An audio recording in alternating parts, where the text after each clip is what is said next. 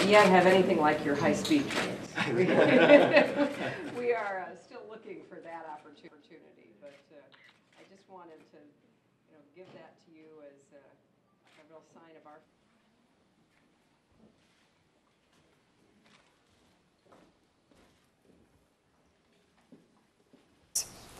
This alliance is the cornerstone of American strategic engagement in the Asia Pacific.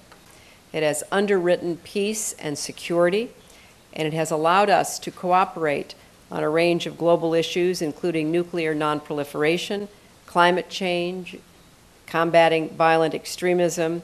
We are the two largest contributors to reconstruction in Afghanistan.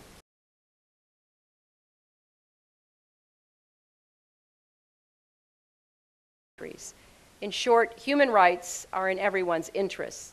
This is a message that the United States delivers every day in every region. With predictable rules on everything from intellectual.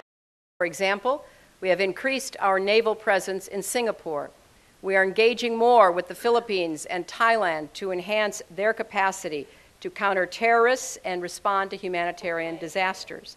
With predictable rules on everything from intellectual property to indigenous innovation.